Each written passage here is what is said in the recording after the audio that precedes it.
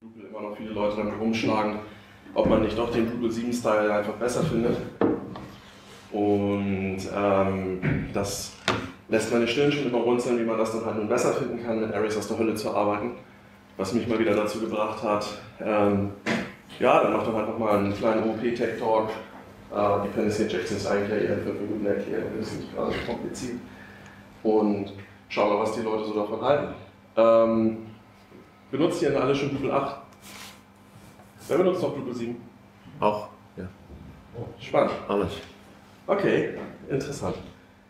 Ähm, also ich würde euch einfach warnen ans Herz legen, ähm, euch den OOP-Kram einfach nochmal anzugucken und halt sich zu überlegen, ob es nicht besser wäre, halt anders zu programmieren, weil äh, aus meinen sechser Jahren Erfahrung mit Drupal 7 äh, ist es schon so, dass ich mir oft gewünscht hätte, ein bisschen mehr Doppelboden und ein Fallnetz zu haben und nicht immer einfach zu wissen, was da nicht passiert. Aber ja, schauen wir mal. Ähm, Carsten Prowein ist mein Name. Ich arbeite bei VV Business als Senior-Entwickler. Ich habe äh, sehr lange ausschließlich mit Drupal gearbeitet. Eigentlich nur mit Drupal 7 habe ich dann dazu entschieden, dass ich Drupal 8 nicht einsetzen werde. Alles, was ich machen möchte, ist eigentlich mit Symfony zu arbeiten. Und das tue ich auch, soweit ich kann. Und willkommen bei meinem Talk. Wie schon angedroht, reden wir erstmal über objektorientiertes Programmieren. Ähm, und man sollte sich einfach vor Augen halten, dass das Zeug schon seit 1950 im Gespräch ist. Also es ist irgendwie nichts Fancyes, Neues oder besonders kompliziertes. Interessanterweise, was ich zum Beispiel eine furchtbare Sprache habe, fing das tatsächlich mit Common Lisp an. Äh, ich hoffe, das habt ihr nie sehen müssen, was das für ein Zeug ist. Das sind so Klammer, Klammer, Klammer, irgendwie A gleich B, Klammer, Klammer, Klammer, Klammer. Ne? Also ganz, ganz furchtbar. Ähm, eine andere furchtbare Sprache äh, ist Java. Ähm, und die gibt es halt schon seit 1996, das habe ich auch nochmal nachgeguckt. Und äh, merkt euch den Namen einfach äh, Martin Fowler. Ihr solltet unbedingt auch das lesen, was der Mann sonst schreibt. Das ist einfach höchst interessant. Und das ist alles so von 2003. Also das ist auch nicht gerade fancy New Shit oder sowas. Ähm, wir in PHP sind da nur, also einfach mal zehn Jahre hinterher. Ne? Ähm, von daher ist halt einfach auch immer wieder die spannende Frage, ob PHP ähm, sich jetzt Richtung Java entwickelt und ähm, warum wir denn nicht eigentlich alle Java machen, weil Java hat das ja irgendwie alles schon, ist hard-typed und doch eigentlich viel cooler. Ähm, also von meiner Seite her kann ich immer nur sagen, dass ich Java eher nicht benutzen würde, aus zwei Gründen. Einmal, weil das ganze Deployment mir dafür viel zu aufwendig ist, weil Java ja immer eine komplette Binary halt produziert und PHP halt nicht. Und ähm, weil es Oracle gehört und Oracle ist das neue Böse, aber Microsoft ist jetzt gut, auf den können wir nicht mehr rumhacken und Apple ignorieren wir sowieso. ne? ähm, also von daher, ja, da muss man sich halt unterscheiden, wie es ist. Es gibt ja wirklich lizenzrechtliche Probleme, wenn ihr Java benutzt, müsst ihr sehr aufpassen, was ihr da runterladet und benutzt, weil in der Open Source Distribution sind Teile drin, die nicht Open Source sind. Und dafür werden Leute auch tatsächlich von Oracle verklagt, was ich nicht ganz so witzig finde. Naja, ähm, also was nun eigentlich? Kühe. Kühe unser perfektes Beispiel für objektorientiertes Programmieren. Weil so eine Kuh ist immer unser Objekt der Begierde. Eigentlich wollen wir eine eigene Wollmilchsau. Von der Kuh kriegen wir wesentlich mal Fleisch und Milch. Das ist ja schon mal was. ähm, aber wie machen wir denn jetzt die eigene Wollmilchsau draus? Und da äh, kommen wir dann halt zu typischen objektorientierten programmierten Pattern. Wenn ich noch einen Schritt nochmal zurückgehe und einfach nochmal philosophiere, was man in PHP eigentlich so treibt. Also es ist eine prozedurale Sprache eigentlich mal gewesen, eine funktionale Sprache. Das heißt, ich ähm, hämmere Anweisungen runter, wenn das halt so ist, dann tust du bitte dieses und wenn nicht, dann machst du das. Ähm, also äh, wenn das so ist und dann nicht, dann tust du das, das ist ja eigentlich schon ein Anti-Pattern, aber da möchte ich jetzt auch nicht so detailliert drauf eingehen, aber so ist PHP halt mal aufgewachsen unheimlich schnell und praktisch für uns alle und jetzt wollen wir doch irgendwie dieses OOP-Zeug machen und das ist ja immer ein bisschen schwierig zu sehen, warum. Äh, Drupal 6 war ja eigentlich auch schon objektorientiert, unsere Notes waren ja Standardklassen. Ne? Also das ist ja schon voll so objektig. Äh, würde ich einfach sagen, nein, das bringt uns einfach gar nichts. Das ist ja nett, dass es ein Objekt ist, aber naja, was soll man eigentlich damit? Also ähm, objektorientiertes Programmieren besteht halt erstmal daraus, dass ich eine Klasse habe, also einen Bauplan für ein Objekt also da steht halt einfach drin, die Kuh hat irgendwie Hörner und Hufe und irgendwie so, eine, so ein paar Flecken drauf und so eine Farbe oder irgendwas, das ist auch immer wichtig und keine Ahnung, so, dass das Euter so ein Volumen hat oder keine Ahnung, was die Kuh so kann. Sie kann vielleicht Milch gehen, vorwärts, rückwärts gehen, äh, Gras und scheißen. So. Also das können wir dann alles in unserem Kuhobjekt hinterlegen, also in unserer Klasse definieren. Und wenn wir daraus eine Kuh machen, dann kann die das alles schon. Yay, das ist doch irgendwie geil. Dadurch haben wir irgendwie uns schon mal erklärt, so ist eine Kuh, das ist anschaulich, die hat dann halt irgendwie ihr Zeug, das kann sie halt so machen. Und das ist doch irgendwie schöner, als wenn wir irgendwie so haben, so ein Array so, da steht irgendwie so drin, das hier ist eine Kuh und die hat dann irgendwie im ersten Key so eine 1 und dann so eine 2 und dann wissen wir nicht mehr, was da drin steht. Das ist schon mal irgendwie ein bisschen plakativer. Ähm, dann kommen wir aber zu so gewissen abgefahrenen Sachen wie Interfaces, die mir im objektorientierten somit so auch einer der wichtigsten Bausteine einfach sind. Ähm, wir sagen nämlich, eine Kuh hat immer Hörner, eine Kuh hat immer Hufe, sonst ist es halt einfach keine Kuh.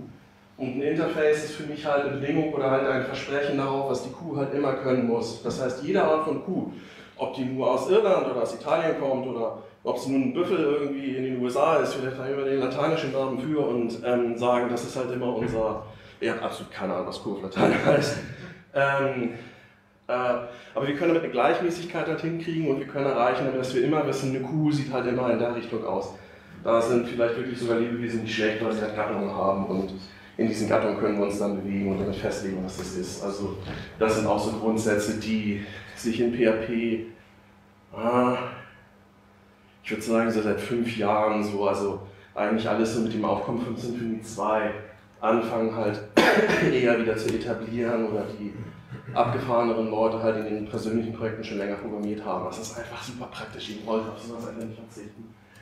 Dann gibt es noch eine Abstraktionsschicht dazwischen, weil das heißt, ähm, ist ja schön, dass die Kuh Hörner hat, aber vielleicht wollen wir die Körner schon mal irgendwie ein bisschen definieren. Oder irgendwie mal sagen, ein Horn auch immer irgendwie eine Länge oder irgendwas und das muss halt, ähm, wenn die Kuh gebaut wird, halt festgelegt werden und wenn ich frage halt irgendwie Hornlänge, dann kriege ich halt irgendwas zurück. So, das macht halt nicht das Interface, das macht eine abstrakte Basisklasse. Von daher ist das das nächsthöhere Versprechen auf das ich mich halt ähm, verlassen kann innerhalb meiner Struktur, welches mir dann aussagt, das kann das Biest nur eigentlich und so treibe ich sie durchs Wort. Ne? Und äh, das ist auch einfach super nützlich, das zu tun. Also ähm, alles Dinge, die Drupal 7 zumindest nicht hatte, in Nacht kann ich es euch nicht mal sagen, ob es mittlerweile drin ist oder nicht. Ich hoffe einfach nur, dass es das tut. Ähm, ja, und dann zum Schluss, äh, wenn ich das alles irgendwie zusammennudel, und äh, also ich nehme eine Klasse, die dann irgendwelche Abstraktionen benutzt, die dann irgendwelche Interfaces benutzt und daraus baue ich mir dann ein Objekt. Und ähm, Objektorientierung bedeutet auch, dass ich irgendeine Art von Vererbung habe, egal wie die ist. In PHP ist sie einfach. Das heißt halt von der abstrakten Kuh kann ich eine richtige Kuh machen, eine norddeutsche Kuh und ähm, dann kann ich halt sagen, das ist meine Schleswig-Holstein schwarz-weiß-bunte und dann kann ich die nachher einfach instanzieren und dann habe ich halt meine Schleswig-Holstein-Kuh, die dann besonders viel Milch gibt oder die braunen sind halt, glaube ich, besser fürs Fleisch. Ja, und dann ähm, habe ich hier verschiedene Abwandlungen. Das sind einfach Grundlagen, mit denen man sich dabei einfach beschäftigen sollte, die euch das Leben einfach leichter machen. Das ist jetzt noch nicht mal der abgefahrene Shit oder irgendwas wirklich Kompliziertes, sondern es gibt uns einfach den Halt, dass wir einfach wissen, was die Dinge tun und das geben uns Arrays einfach nicht. Also ähm, wenn ihr mit Render Arrays einmal gearbeitet habt in Drupal 7, dann wisst ihr, das wollt ihr einfach nie wieder machen. Ähm, und da können Objekte halt einfach helfen, weil man dann halt ein Objekt hat, welches sich quasi selbst rendert und dann Kinder hat, die auch wissen, wie sie gerendert werden. Dann, das bringt man dann halt alles zusammen. Das kann dann von unten nach oben laufen und dann hat man das Zeug halt stehen. Wenn ich da irgendein Array habe mit irgendwelchen Hash-Wertsachen, dann, hey je, ich meine, die werden erweitert, also bis in den hellen Wahnsinn und dann weiß ich nicht, was passiert. Ähm, ja, das ist ja eigentlich alles total geil. Warum funktioniert es denn eigentlich nie? Also in meiner Laufbahn, ich mache das schon seit 2000, habe ich diverse Projekte gesehen. Und ähm, die Top-Liste auf meiner schlimmsten Projekte, die ich je gesehen habe, sind zwei Drupal-Sites. Ähm, aus dem einen Drupal haben sie versucht, Symphony zu machen, das war auch echt abgefahren da halt zu sagen, wir wollen keine Features, sondern wir nehmen das jetzt über eine XML-Config und die injecten wir in Drupal, um Felder zu erstellen. Oh. Das hat jetzt glücklicherweise nichts mit OOP zu tun, aber das zweite war geil. Mein liebster Kommentar in dem Projekt war immer noch, ähm, das ist Clusterfuck. Ich weiß nicht, was es bis heute nicht, was es ist, aber es war sehr lustig. Die haben dann nämlich versucht, Drupal objektorientiert zu machen. Das heißt, sie haben das Node-Objekt genommen, also dieses Standard Class, was ja eigentlich kein richtiges Objekt ist, und haben auch ein richtiges Objekt gemacht. Und die hatten so geile Sachen, so wie eine Get-Title-Methode was einfach völlig Sinn war, sinnlos war, weil Drupal geht einfach standardmäßig einfach auf den Wert hängt dann den scheiß Titel und dann hat sich das einfach. Das war völlig überladen und gerappt in einem Haufen von Sinnlosigkeit.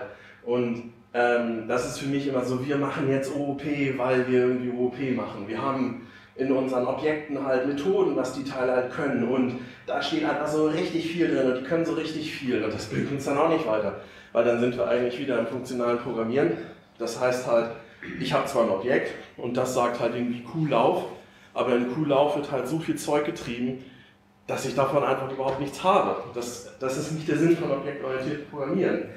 Das Mindset von objektorientiertem Programmieren ist halt Haus kleiner in so kleine Elemente, dass du damit halt einfach arbeiten kannst. Und naja, äh, dabei kommt dann halt also wirklich eine ganze Menge Scheiß einfach immer raus. Die Standardklasse in Drupal ist für mich genau das gleiche. Also ist euch eigentlich klar, was ihr benutzt? Denkt irgendeiner von euch, dass Drupal 7 durch, dadurch, dass es eine Standardklasse benutzt, halt ein, wirklich ein objektorientiertes Par also Paradigma irgendwie einbindet? Also, ich hoffe nicht. Okay. Also es ist genau das Gleiche. Warum zur Hölle ist das Notobjekt ein Objekt? Das bringt uns nichts. Das bringt uns einfach überhaupt nichts. Also hätten wir auch irgendwie wieder ein nehmen können. Das ist genauso spannend einfach, außer dass es einfach netter zu schreiben ist mit den Pfeilen oder so. Das ist einfach. Wir haben keine Verlässlichkeit, ob der Notentitel hat. Das finde ich wirklich übel. Wie oft habe ich in Lupe gesessen und geschwitzt und mir überlegt, was kann dieses Ding jetzt eigentlich? Warum kann es das? Wo kriege ich jetzt einen Wert her? Und ich weiß es halt einfach nicht. Und das ist einfach wieder objektorientiertes Programmieren in die komplette Sinnlosigkeit. Und ähm, wenn sowas halt durchkommt, dann ja, lasst es einfach bleiben. Also dann programmiert lieber einfach straight prozedural runter, schreibt eure Funktionen, einfach so Bedingungen. Das ist schneller, das ist im Endeffekt unkomplizierter und ihr müsst euch nicht von Typen wie mir erzählen lassen, also das hast du jetzt ja nicht so gut gemacht, ne? Oh. Und da gibt es natürlich noch viel mehr Zeug, was halt daneben gehen kann. Und das ist halt, ähm, warum wir die Dependency Injection haben. Wir wollen halt alles nichts, also Tight Coupling machen. Das heißt, wir wollen die Sachen halt unabdingbar halt zusammenflanschen. Ähm, ist ein Anfänger-Talk, deshalb ich werde jetzt einfach fast keinen Code schreiben. Dass die Sachen halt direkt zusammenbauen. Ähm, ich habe in dem einen Video ein nettes Ding gesehen, es ging um einen Bauroboter. Und der Bauroboter sollte ein Haus bauen. Und das sollte er aus Holz bauen. Und dafür hat er halt ähm, die Möglichkeit gehabt, das zu tun. Er hatte alle Werkzeuge da. Die Frage ist nur, woher kommt das Holz? Ähm, und das Holz kam also zuerst einmal einfach aus dem Roboter. Da hatte da so eine Klappe und dann war da immer Holz drin und das holte er sich einfach aus sich raus und dann hat er daraus ein Haus gebaut. Und dann war nur die Frage, dann, wo kriegt er denn jetzt die Tür her? Dafür ist die Klappe einfach viel zu klein, da kriegt er die Tür ja gar nicht raus. Äh, ja, spannende Frage. Wir könnten jetzt einen größeren Roboter bauen, der halt noch neben der Holzklappe eine Türklappe hat und dann gibt es noch eine Fensterklappe, eine Schornsteinklappe und ich weiß nicht was. Das heißt, der Roboter ist wieder für alles verantwortlich alles herzustellen und wir wissen überhaupt nicht, wo es hier kommt. Also ihr könntet ihm folgen. Also es ist halt darum, dass irgendetwas magisch halt entsteht. Und in diesem Wort magisch liegt halt einfach das Problem. Wir wollen die Magie halt raushalten. Wir wollen einfach wissen, was da halt wirklich passiert. Und wenn wir es halt halt kappeln, dann haben wir nie die Chance, irgendwas zu ändern wenn äh, der Roboter halt immer alles direkt angebaut haben muss, dann muss er halt irgendwie mit Holz arbeiten können, dann muss er mit Stein arbeiten können. Er kann sich nicht darauf konzentrieren, baue ein Haus, sondern er muss mit den Materialien umgehen, er muss die Materialien beschaffen, er muss eigentlich auch den Steinbruch betreiben. Das ist halt einfach so richtig übel. Und was wir doch verdammt nochmal eigentlich wollen, ist, dass wir dieses blöde Ding da hinstellen, neben ihm liegt ein Stapel Holz und dann fängt er an, daraus das Haus zu bauen. Und er kriegt eine Tür geliefert, weil irgendeine Fabrik hat sich darum gekümmert, diese Tür zu bauen und der Roboter kann dann die Tür nehmen und in das gesamte Haus, also unser gesamtes Objekt einbauen. Das ist halt einfach das, wo wir hinwollen. Und je schlichter wir das binden, desto schlechter können wir es nachher erweitern und in irgendeiner Form damit arbeiten. Das ist halt so der ganze Trick. Und äh, das Slide habe ich einfach von Faria potenziell geklaut. Ähm, hochbegabter Mensch hat Symfony entworfen und ungefähr 150 andere Tools man könnte so gesehen sagen, dass er wahrscheinlich 50% von Drupal 8 programmiert hat, ohne dass er auch mal irgendwie an Drupal 8 gedacht hat. Ähm, und wahrscheinlich alles, was da drin ist, ähm, beruht auf dem, was er gemacht hat. Äh, das Problem ist eigentlich, er benutzt auch nur Sachen, äh, man sagt ihm ja nach, Java Eskemonska zu bauen. Eigentlich kommt der Mann aus Perl, von daher ist das immer ganz spannend. Er sagt selber, ich habe doch gar nichts mit Java zu tun, ich komme auch aus einer ganz anderen Sprache. Nur er scheint irgendwann mal kapiert zu haben, dass man netter programmieren kann und dann hat er Sachen einfach mal netter programmiert. Symphony 1 soll auch ein ziemlich wüstes Ding gewesen sein. In zwei haben sie es einfach besser gemacht. Ähm, was wir hier halt sehen, ist ein winziges Beispiel und es geht halt um die Zeile, ich hoffe, ihr könnt das lesen, ich konnte es hier vorne aber nicht schlecht lesen, wo rot halt steht. Weil die spannende Frage ist, was, warum ist das jetzt eigentlich doof? Ähm, das kann ich nicht lesen, ist das der Constructor oder ist das, ein, ja, das ist der Constructor. Also da oben steht halt Unterstrich, Unterstrich, Construct. Äh, ich habe mehr einen Schatten drauf, egal. Also das erste Function, das ist der Constructor und in den Constructor wird halt ein neuer Session Storage gemacht. Stellt Fragen. Wisst ihr alle, von was ich hier rede? Was passiert da? Wer weiß es nicht, ich erkläre es gerne hundertmal, das ist wichtig. Der Rest der Session könnt ihr vergessen, ihr könnt dann einhören und hat zu kühl denken, das ist alles okay. Aber die zwei Zeilen, die jetzt kommen, das ist, darum geht die ganze Session. Allen klar? Äh, fest auf diesen Session Storage, der aber festgebunden ist. Da genau. kann ich nicht einen anderen Storage genau. nehmen. Da muss eine, eine Interface Declaration in den Parameter drin sein, äh, der sich an diesen Parameter, was diese User-Klasse verlangt, haben. Also das mit dem Interface ist ja schon so the hot shit, also das ist schon ein Schritt weiter. Ähm, der Witz ist erstmal, also wenn dieser Session Storage gebaut wird, also diese Klasse User hat einen Session Storage und wenn der User erstellt wird, dann bekommt er seine Session und er wird sie immer diese eine Session bekommen. Jeder User hat seine eigene Instanz von einem Session Storage. Wie der konfiguriert ist, wissen wir nicht. Was der treibt, wissen wir nicht. Es ist immer wieder ein neues. Das belegteste Beispiel dafür sind eigentlich immer Datenbankverbindungen. Warum Fabian nur keine genommen hat, weiß ich nicht und ich war zu faul, ein Beispiel in die Datenbankverbindung zu klauen.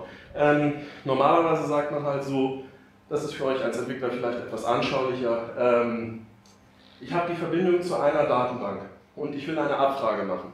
In der Abfrage erstelle ich die Verbindung zu der Datenbank. Map falsch. Das ist einfach eine dumme Idee.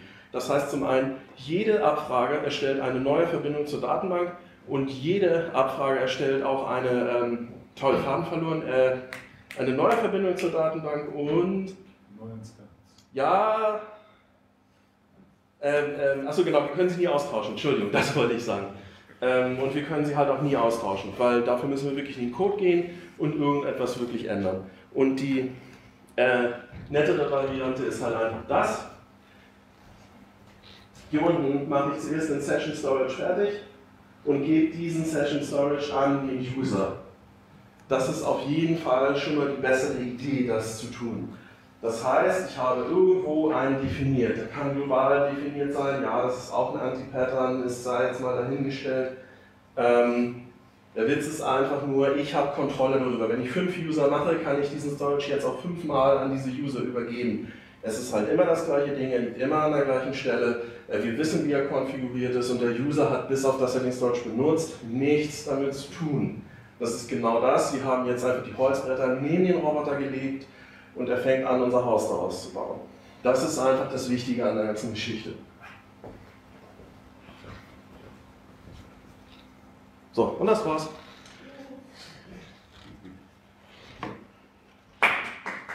Okay, war natürlich nicht richtig.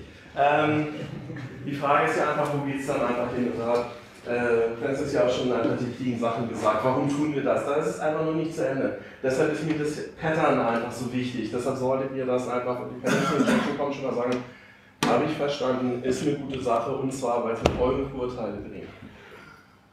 Warum Fabian auf dem vorigen Slide halt unten halt hingeschrieben hat, dass ein bisschen mehr Code ist, weil er halt herausgehen will, dass ich halt ähm, diese Konfiguration in den Zeilen da unten anders machen kann. In Symfony, ich habe wirklich keine Ahnung, was Google treibt, ähm, ich denke, es gibt auch einen Service-Container, wobei ich in Google sehr viel statische Aufrufe sehe, die für mich auch wieder eine harte Bindung sind, die ich nicht gut finde. Ähm, in Symfony gibt es einen sogenannten Service-Container. Äh, da könnte ich theoretisch in dem Konstruktor vom User sagen, also der User kriegt den Service-Container mit und ich sage dann innerhalb des Users, gib mir mal bitte den global konfigurierten äh, Session-Cache oder Session Manager oder was es jetzt eben war und, das, und dann beginnt der Service Container zu rödeln, guckt halt in unsere Konfiguration nach, oh, das schreiben wir immer in Memcache. Der Memcache liegt auf dieser IP an dem Port. Das sind, so komme ich da ran, falls er den Credentials hat oder was auch immer, dann weiß er das. Und der User kriegt halt ein globales Objekt äh, gemanagt von dem Service Container. Es ist kein Singleton Pattern, kommt nicht auf die Idee zu glauben, dass das Singleton ist.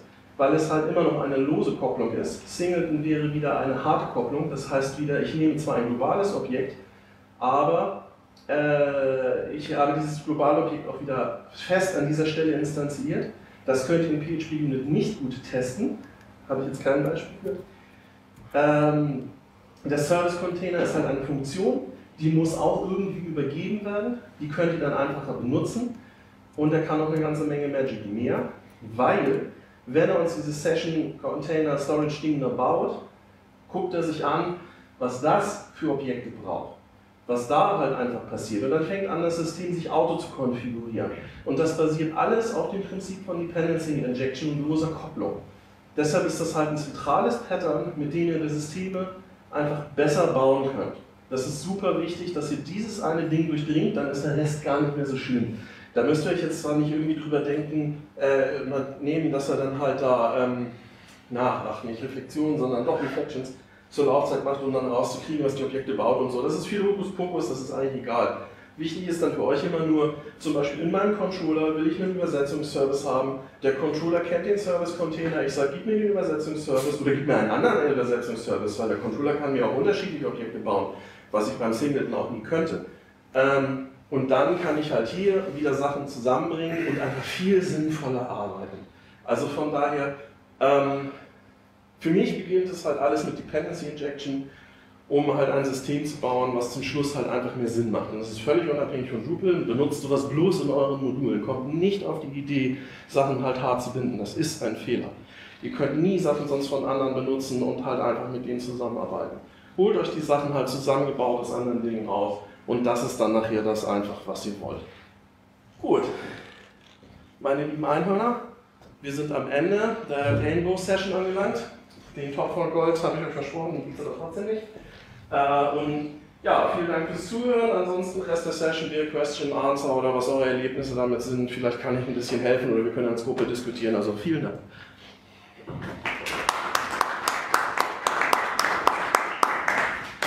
Fragen, Anregungen, Meinung, Kritik? Du hast jetzt. Wenn man so eine Spaghetti mal vor sich hat, da freut man sich und isst ein Häppchen. Ab wann lohnt sich Refactoren? Was, welche Erfahrungswerte kannst du uns sagen? Boah, das ist ein kompliziertes Thema. Ähm, das geht auch für mich mehr ins Projektmanagement rein, ehrlich gesagt. Das sind für mich Sachen so wie, wenn du Zeit im Sprint hast, falls ihr sprintorientiert arbeitet, dann fängst du einfach an zu refactoren, weil es ist einfach immer nötig. Und der wird der wird das nie bezahlen, der sieht die OP und alles. Dann würde ich nochmal insgesamt mit ähm, ja, Struktur. auch nicht. Das ist halt, ich sage ja, das ist ein Projektmanagement-Thema. Das ist eigentlich, das hat auch mit dem Kunden nichts zu tun, sondern mit eurem eigenen Qualitätsanspruch, wie ihr den Kunden bedient. Ja, das sind halt Fragen, wie das Projektmanagement das bedient. Das sprengt ein bisschen den Rahmen von reiner Programmierung. Aber Aussage ist Refactor immer, wenn du Zeit hast. Und alles lohnt sich zu refactoren. Ich schreibe auch immer Scheißcode. Also von daher. Wäre das testbar kein zum Beispiel eine plausibles Argument dafür? Also ich refactoren, damit ich da mocken kann, damit ich. Also auf jeden Fall. Aber dann würde der Kunde auch wieder sagen, du zahlst die nicht. Ne? Also es hängt davon ab, was du dann durchkriegst. Aber wie schön, das ist alles eher Projektmanagement. Ne? Also ich würde Sachen eher überschätzen. Das Team sollte sagen, das Team ist auch ein Stakeholder, hat auch Anspruch, Dinge zu tun. Du hast intern Zeit dafür, deine eigenen Issues zu machen. Das ist eine Frage von technischer Schuld. Also wo habe ich im Code einfach noch Scheiße gebaut, auch teilweise absichtlich Scheiße gebaut, weil ich einfach was fertig kriegen muss und dann weiß ich einfach, hey, hier muss ich es nochmal ändern. Aber es muss im gesamten Projekt eine Fairness dafür sein, dass diese Dinge später noch geändert werden müssen. Dafür sollten Agenturen einfach mal ein bisschen ein offenes Gedächtnis haben, so hey, da haben wir einfach Mist gebaut und selbst wenn wir es mit den Kunden kommuniziert haben, müssen wir da einfach noch mal ein bisschen aufräumen. Und man sollte es einfach schnell tun, weil ansonsten sprießen einfach also wirklich Monstren aus dem System und das wollen wir halt auch nicht. Das ist nur eine Frage. Ich gehöre ja wie viele auch zu den äh, Entwicklern, die schon lange Drupal machen, die ja. jetzt langsam den Schwenk von 7 nach 8 betreiben. Ja. Und äh, das Problem, was ich persönlich, aber ich bin sicher auch andere damit haben, ist, äh, wir schlucken ziemlich schnell, was Dependency Injection allgemein bedeutet. Wir schlucken auch ziemlich schnell, dass es da einen Service-Container gibt, in dem sich Services befinden. Ja. Aber dann kommen wir immer an die typische Drupal-Hürde. Die Drupal-Hürde lautet, die Drupal kannst du alles auf so und so viele verschiedene Weisen machen.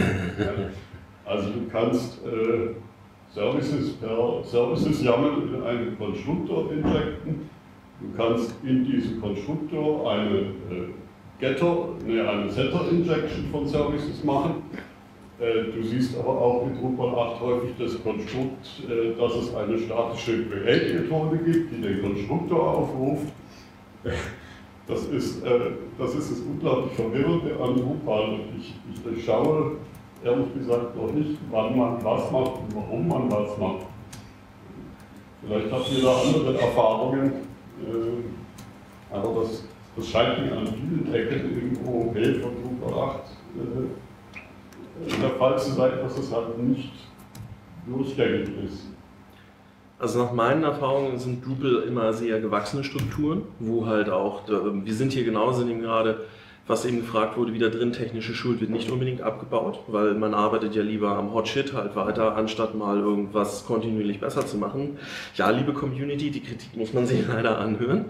Ähm, und von daher ist dann ja wirklich die spannende Frage, ob diese Systeme nicht auf unterschiedlichem Kenntnisstand über einen längeren Zeitraum basieren das heißt, vor einem Jahr wurde das, also das mit dem statischen Zeug finde ich natürlich gleich wieder, das ist so ein Unwort, wo ich gerade nicht nachvollziehen kann, warum das jemals passiert sein sollte. Da wäre es vielleicht einfach eine Issue zuzumachen. Ähm, und die anderen zwei Methoden klingen nach auch wieder, da hat sich das alles einfach weiterentwickelt. Das ist in so einem Monsterprojekt einfach super anstrengend. Hat es immer schon gegeben, wird es immer geben.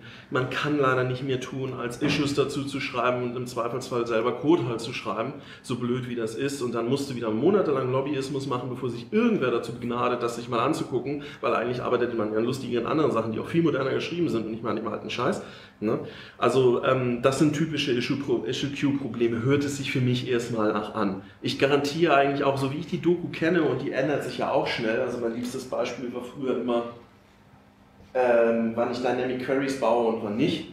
Das war für mich der absolute Horror, weil am Anfang hieß es, ich muss immer alles mit der Query-Abstraktion schreiben und nachher stand in der Doku wirklich drin, wenn es ein statisches Query ist, schreibt ihn statisch und nur wenn ihr dynamische Queries braucht, schreibt ihr bitte einen dynamischen Query, weil das ist sonst zu langsam und ich habe dann nur gesessen und gefeilt.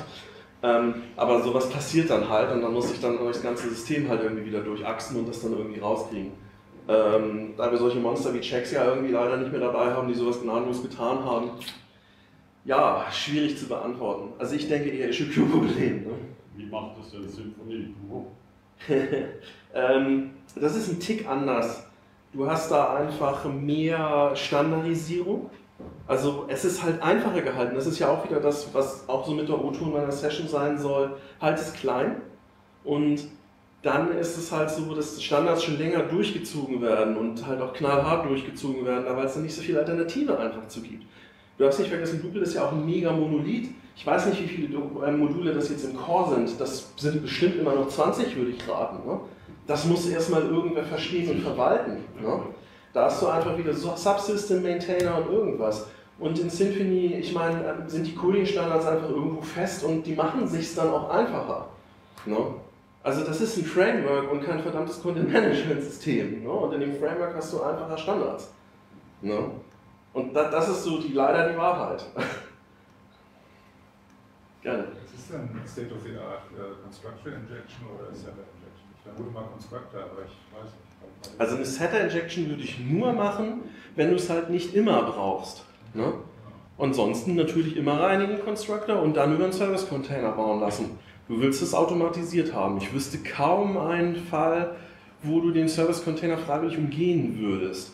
Ne? Also selbst die Factories, auch wenn die statisch sind, würdest du in Symfony über den ähm, ähm, Service-Container halt basteln lassen und da holst du dann die verschiedenen Objekte halt einfach raus. Ne? Der Service-Container macht immer Constructor. Der macht immer Constructor Injection auf der Basis von Reflexionen, guckt danach, was halt wo gesetzt ist. Das ist ja ein ziemlich komplexes Biest einfach, ne? aber nachher ist es super praktisch. Also ich würde nie behaupten, dass ich ihn voll durchdrungen habe, aber es macht einem einfach die Arbeit super leicht. Ne? Ja. Also was ihr machen könnt, guckt in euren Modulen, dass ihr besser seid. Guckt, dass ihr echt aufhört, Drupal 7 zu machen, nehmt Drupal 8, es ist einfach schlauer.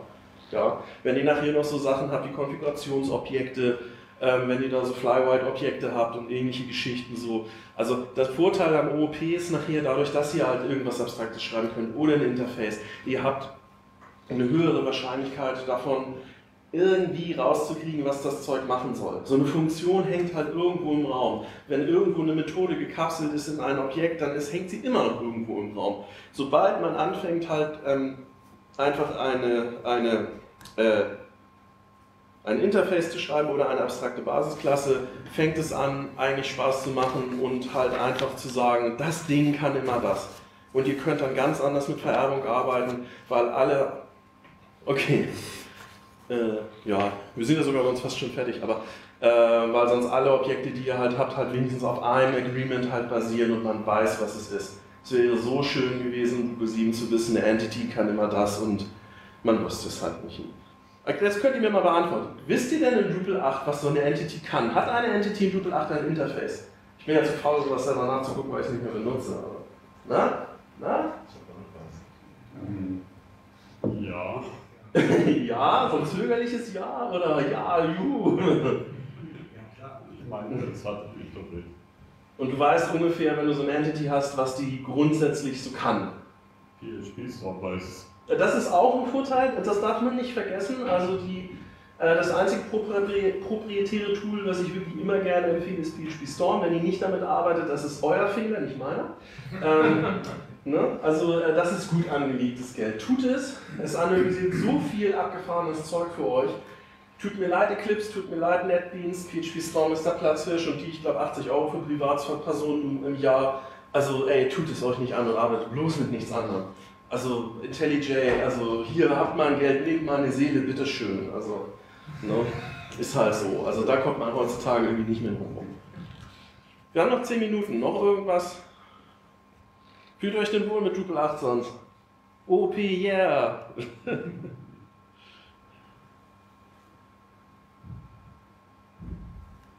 Okay, dann danke ich euch fürs Zuhören. Ich hoffe, es hat euch irgendwas gebracht und ich hoffe auch, dass jetzt irgendwer sich ermutigt fühlt, OP mehr zu machen und auch gerade Dependency Injection. Und vielen Dank fürs Zuhören.